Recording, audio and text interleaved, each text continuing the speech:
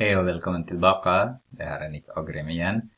Vi ska gå igenom procent utan miniräknare. Ni är kanske så bekanta med min eh, vad heter det, triangel nu. Så vi kan använda den fortfarande men utan miniräknare. Ska vi titta? Och det finns i er bok i sidan 90 så har ni många. Eh, till exempel eh, viktigt att ni måste kunna till exempel 10%, en tiondel, 20%, en femtedel, sådana. Det är viktigt att ni, måste, ni kan dem, några av dem. Så att ni kan använda dem när ni behöver dem till exempel. Ska vi titta på några exempel. Eh, hur många procent är 36 kronor av 200? Så har vi 36 kronor av 200 kronor. Så om vi, vi räknar andelen vi behöver delen som är 36 och hela som är 200. Men den här, det, det ska vara jättelätt om vi har miniräknare, men vi har ingen miniräknare. Det viktiga är att ni har 100 som är eh, nämnaren. Om jag kan förkorta den här med 2 så får jag 100 redan. Då gör jag också med täljaren. Så har jag 18 då har jag 18 procent är min andel. Ska vi titta några till? En, en annan.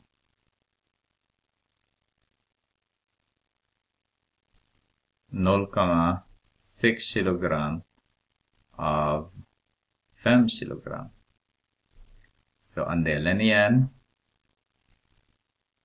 får vi 0,6 av fem, alltså eh, delen av det hela. Om jag förlänger den här med 20, varför det? Därför 5 multiplicerat med 20 är 100. Det är viktigt att jag måste ha 100. Så gör jag också med den här 20. För jag 6 gånger 20 är 120. Men jag har en decimal så har jag 12 bara. Så har jag 12 procent. Ska vi titta på den andra då. Hur mycket är 7 procent av 2000? Nej, 20 000. Så 7 procent av 20 000 kronor. Så vad ni kan göra är att ni vet att det, det är eh, 100 procent motsvarar 20 000. Det vill säga en procent motsvarar eh, om vi dividerar med 100 så får jag 200 kronor. Så 7 procent blir det 200 kronor. Multiplicerar med 7. Så har jag 1400 då, kronor. En annan variant på den här är att ni kan göra så här. Eh, andelen är 7% eller 7 hundradelar. Det kan ni göra. Och sen eh, hela är 20 000.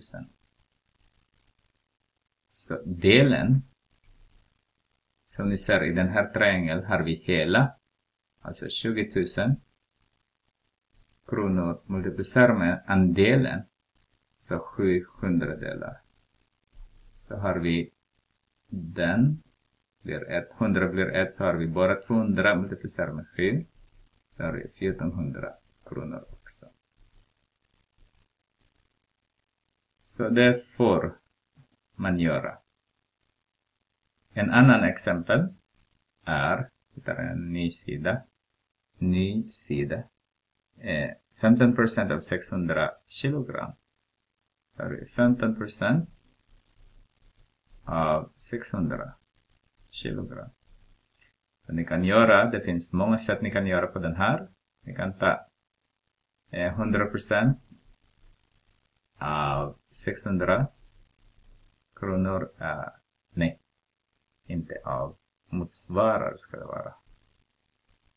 100% motsvarar 600. Ni kan räkna direkt med 10%. Varför det? Därför jag, jag behöver 5, 15% 10. Så har jag 60 dividerat med 600 dividerat med 10 blir det 60 kronor. Och 5% är hälften av 10 så har jag 30 kronor. Det kan ni göra. Så 15% nu är 90 kronor. Jag ska kolla någon annan variant om det funkar. Vi får se om det funkar. Vad behöver vi? Delen va? Delen. Därför vi har hela. Och vi har andelen. Okay. Delen är hela. Som är 600 multiplicerar med andelen. Det är 15 procent. 15 procent är samma sak som 1500. Nej. Skriver samma sak. 1500 delar. Så 1500 delar. Så. Och då den blir 1 så har jag 6 multiplicerat med 15. 15 multiplicerat med 2 är 30. Så 30 multiplicerat med 3 är 90 kronor. Det kan ni göra också. Andra blir det 100% motsvarar 600 kronor. Och 15% motsvarar x, det vet man inte. Så har jag x motsvarar, är dividerat med 600 är lika med 15 dividerat med 100. Så subtraherar jag med 600 multiplicerar menade jag, inte subtraherar. Det här blir 1 så har jag x är lika med. Den här blir 1, är 6 menade jag. 15 multiplicerar med 6 blir 90 kronor också. Olika sätt att göra men samma svar. Mm. Lycka till för eh, fortsättningen. Jag ska gå, jag ska prova lösa alla uppgifter i boken också. Hoppas att ni lärde er lite i alla fall.